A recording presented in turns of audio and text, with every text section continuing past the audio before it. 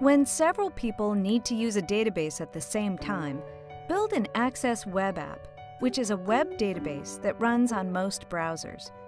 To create an Access Web App, you need a SharePoint 2016 or SharePoint 2013 server, or you need Office 365. To use an Access Web App, you just need to be connected to the Internet or your corporate network. The easiest way to build an Access Web App is to use a template. You can select one when you first start Access or when you select File, New. The set of Access templates include desktop database templates and web app templates. You can tell the difference because a web app template is marked with the globe icon.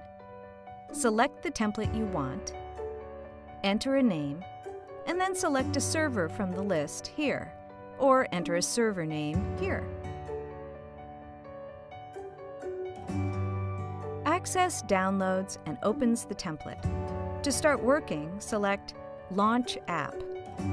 This starts the database in your browser, and now you can start entering your data.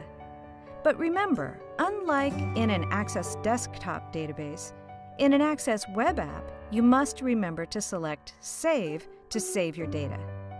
The other thing to remember about Access web apps is you use them in your browser, but you create and change them in Access.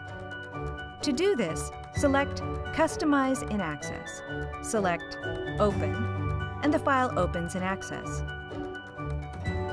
Notice that the ribbon is smaller than what you see in an Access desktop database.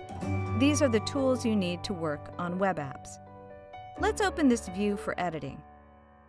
This is called Design View, and make a quick change. Press the Control key, select the labels, change their color,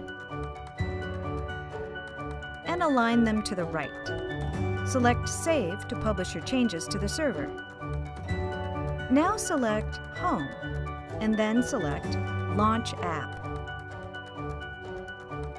There you go. We've created a database in just minutes, and we don't need to change anything unless we want to. And because it's an Access web app, your team members can now open and use this database in their web browsers.